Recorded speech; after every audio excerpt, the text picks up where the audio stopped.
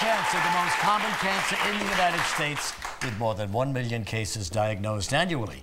And while you think you might know everything, you might be deadly wrong. And here to quiz us is Dr. Doris Day, right here. Suppose you get a lot of comment about the Doris Day. My parents Name. knew what they were doing. That's all I have to say about it. So uh, you've been a doctor for a long time? Yes, Specialist in uh, cancer? in, in dermatology. In dermatology, yeah. Well, let's talk about it. You want to give us a little quiz? I well, have a first of quiz all, tell, you. how common is skin cancer? well, there are over 1 million new cases every year. To give you an idea, it's more common than breast cancer, colon cancer, lung, and prostate cancer combined. But the great news is that when found early, it has a greater than 96% cure rate. That's why it's so good the skin's on the outside. We can find them early, treat them, and then you're done. And you can see, well, I have a question about, there's so many laser treatments out now where you can take away the markers, the moles. Is that putting us at more of a risk when you can't actually see what's on the skin if you're doing it for beauty reasons to get rid of it? You have to be very careful with that. It should be only done by a dermatologist, and to remove a mole, a dermatologist either should sample the mole and know that it's an unimportant mole before they do that, because otherwise you can take away the pigment, the color, but this risk is still there. So you have to be And you careful. wouldn't be able to know what it's doing. Don't they Exactly. examine everything they take off your face? We do, but that's if it's done by a dermatologist. So a mm-hmm. lot of people go to places that Yeah. don't have doctors. yeah, they just don't want the have to be freckles or something, and then you don't know what your marker. Yeah, you know. you have Okay, let's find out how much right, we here's Find know out what we know or don't know. All right, question one. Um, a base tan will protect your skin. True or false? Excuse Say that again? A base tan. So A if you go to tan? a tanning salon and get a base tan, Oh, a base tan. yeah. What, what, what's I'm a New? Yorker. This is how What's we the speak. question? A base tan, A will- base tan. will protect your skin. True or false? Will protect your skin? Mm-hmm. False. Exactly right. Uh, Cheers. is- You got it right. There's no such thing as a safe tan. In order to make a tan, to make that color, you create a burn. The only way to get a safe tan is from a bottle. If you want to use a sunless tanner, Right. that's fine. They make them in powders and sprays and I have it on right now, And it looks actually, fabulous. yeah. So you can't tell. It looks I great. put a little mousse on, and Yeah. yeah. So, but that does not protect you from the sun. You still need sun protection. Okay? Next question. Questions? you can get burned on a cloudy day. True or false? True. Yes. Excellent. Well done. See the worst sunburns on a cloudy day. I have patients Really? who come in who said, people are, are, they're not suspicious. Think They don't know. yeah. Exactly. So they don't feel so hot. They spend more time outdoors and they burn. So you need sun protection every day, all year round, even if it's cloudy. And there is sunscreen for everybody. And also, you need to protect your eyes. Sunglasses are important. And the Skin Cancer Foundation recommends an SPF of 15 or higher. Look for UVA and UVB protection. The word broad spectrum helps. And make sure you reapply it every two hours. Otherwise, it's as if you never used it. Oh my goodness. Next question. All right. Okay, only fair-skinned people get skin cancer. True or false? False. That's right. We are three for three. So far, you're 100%. Give percent. us something we don't know, doctor. no, really, give us a tough question. Well, Yeah. here's something that you might not know Yeah, is that while skin cancer can affect all skin types, Yeah. it can also occur where the sun doesn't always shine. So you Through need clothes? to through your clothes in areas that never get sun. Right. If you have skin of color, you're more likely to get the most deadly type of skin cancer on your palms and soles. So you have to check from the scalp to all the way between the toes Mm-hmm. once a year by a dermatologist, more often if you have something new or changing. Next question. Okay. Clothing protects from the sun, true or false? Sun, Clothing sun what? clothing. Clothing protects from the sun. Protects from the sun? Yeah, protects your skin you from, the, from the sun. sun. Yeah. True or false? Unless it's SPF clothing. No, it's actually true. You're both kind of right because it's true. Clothing does protect you, but not as much as you think. So a So regular what's the, T-shirt. What's the answer to that? The answer is that it's true, True.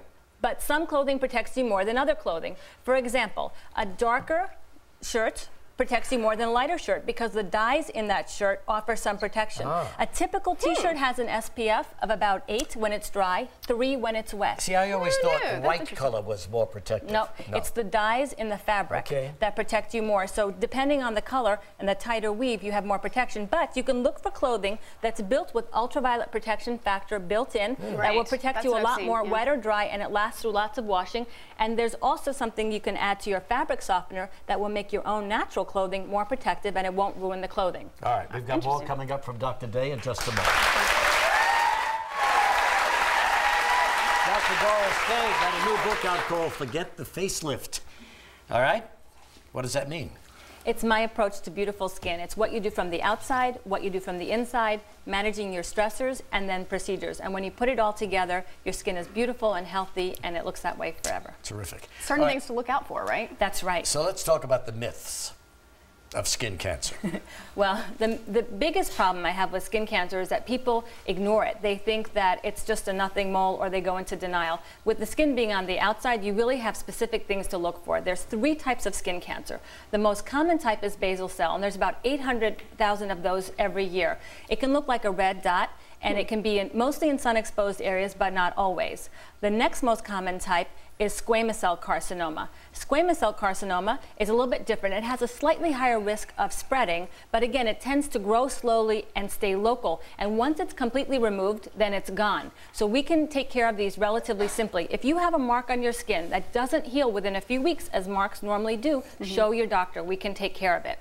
The most the most deadly type, but thankfully the least common type, is malignant melanoma. And these are typically what we look for in the moles. So this is a picture of a malignant melanoma. There's about one person dies every hour of melanoma in this country, and there's no reason oh. for it. This is a big cancer killer of women in their 20s, and then again men in their 60s. So this is not an old person's condition, and it, we have to look out for it. Do they usually come with to, to uh, moles? It, about half of them come in existing moles, and the other half come from just de novo, just naturally in the skin. They just appear. So you have to look at your own moles, have your dermatologist check every year. And we have our A, B, C, D, E's that we look for in our moles. So A would be for asymmetry. You could see it's different on one half than the other. B is border irregularity. You could see how this is so irregular in the borders. C is for color variations. This has a bunch of different colors. That's a danger sign. D is for diameter, greater than a pencil eraser head. That's the least important one. I've seen melanomas that are two millimeters, really tiny. And but even places like your scalp, you can Yes. get Where something the sun like doesn't this. shine. Palms and Right. soles, scalp, around the genitals, anywhere. So you and the eyes as well. should you go to your professional dermatologist to get Once a year, Okay. sooner if there's anything new or changing. And then E is the most important one that's evolving. A mole that's always looked the same. If you look at your skin and something looks different than it did before, show your dermatologist. We can take it off. Greater than 96% cure rate when found early. We need to catch these. We should never have these statistics for melanoma. And I think you're all doing a great job in, in, uh, in uh, s- squashing this before it becomes a major situation. We try, and when you start that with your sun protection ahead of time, Sure. and if you need vitamin D, get it from a pill. Don't listen to the people who say you need sun for vitamin D. You really don't. Have your levels checked. Take a supplement from food or from a pill if you need your vitamin D. all right. Thank you Thanks so very much. much, Thank you. Dr. Thanks for Fabinho. having Great me. information. I hope one more time, forget the facelift in the stores right now. More information, go to our website. We'll be right back with the inbox. More about Dr. Day's tips on our website. Live returns in a moment.